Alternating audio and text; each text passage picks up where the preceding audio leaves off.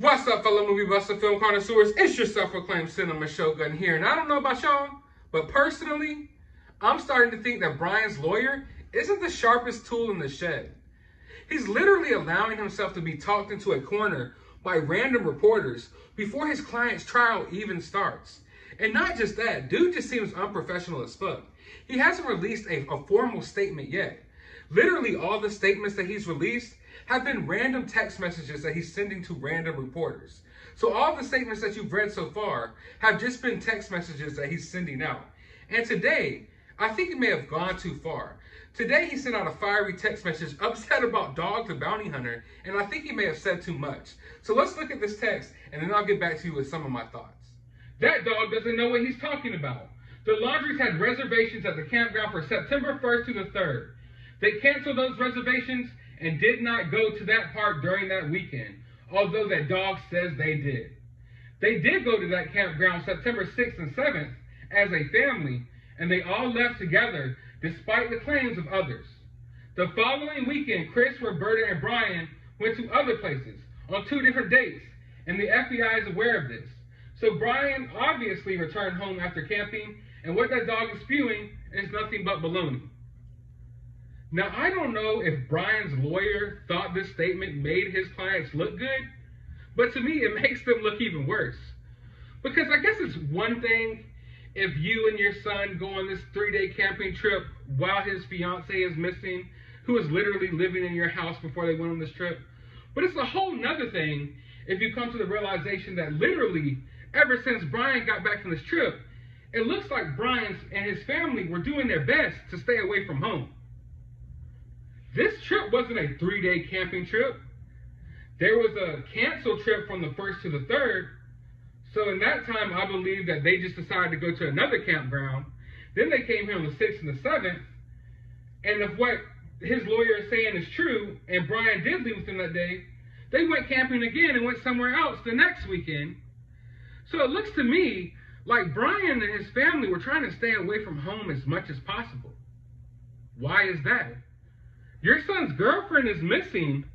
A woman who is literally living under your roof. Your son comes back in her van without her.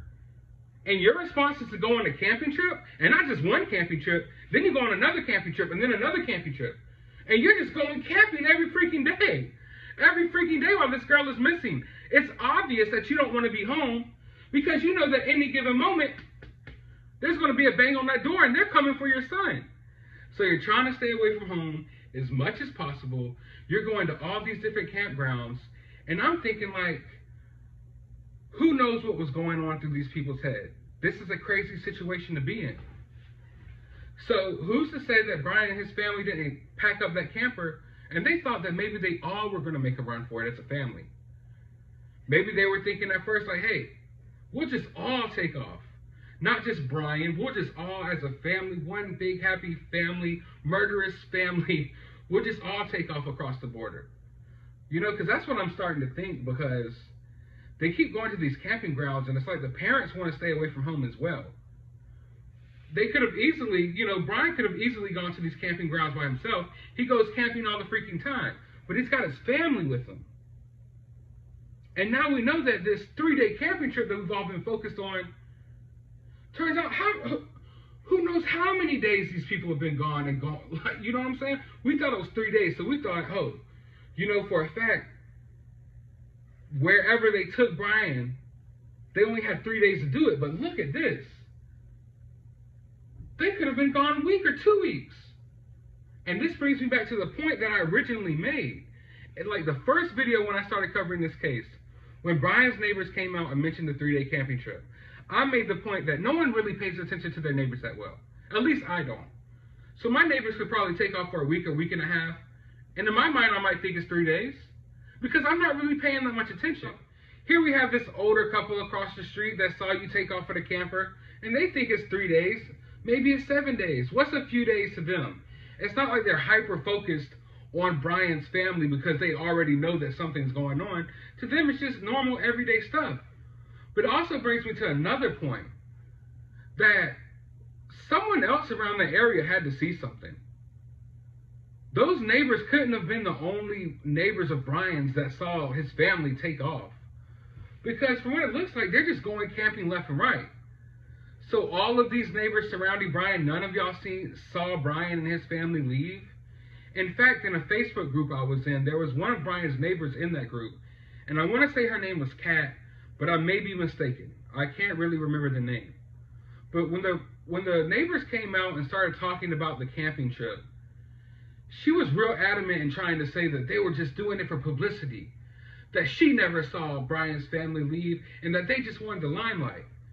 And in my mind, I was like, it's obvious that this is an older couple. I don't think they have anything to gain here. I don't think they want to become famous from seeing Brian's family take off on a camping trip.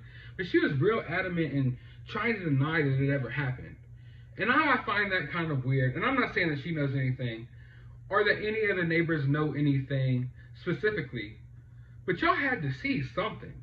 Y'all had to see these people keep taking off. And I'm so surprised that none of the other neighbors came forward talking about this camping trip or talking about Brian's family always leaving or always being gone. Because from what Brian's lawyer is saying, they've been gone basically the whole entire time since Brian came back. So all in all, nothing that Brian's lawyer said here made Brian or his family look any better in my eyes. For one, I never thought that Brian's family dropped him off at Fort De Soto Park to escape. I thought it was a possibility once all the news came out but in my opinion, that was just too close to home for someone who's really trying to make a run for it. So I never thought that this was the final location. I thought that this was a stop along the way to helping Brian escape. And then, on another hand, now we know that they've just gone camping left and right ever since Brian got back, which just tells me that his family's trying to run from something. They don't want to be home when Gabby's body's found. They don't want to be home because they know that any moment they're coming for their son. So it looks like they've been trying to stay away for as long as possible. And eventually they decided to come home without their son once the story got too big. Okay? Because this story just started blowing up. I don't know if maybe they thought that they could sweep this under the rug a little bit, it would blow over. But this case got bigger than anyone could ever imagine. So maybe they originally had plans, a certain plan, you know, in place. And then once the story got so big, maybe they decided to change those plans. And like I said, from the way that it seems like Brian's parents were trying to stay away from home as well, maybe they thought for a moment that they could go on the run too. And then this story blew up, and one of either the mother or the father, someone talked them out of it, and they decided to go with a whole different option. But like I said, now we know just how cold hearted and crazy these people are that they have stayed away from home literally the whole time since Brian got back from that trip with Gabby. But I want to know your thoughts about all of this down in the comments below. Surely you have some theories and your opinions. Your opinions don't have to align with mine. I'm just interested in hearing them. But while you're down there, hit that subscribe button if you haven't already. Also, I'll leave a link in the description of this video for my other channel where I'm also covering this case. You might want to go subscribe over there as well for more information. But as always, find some time out of your day to relax and go watch a movie.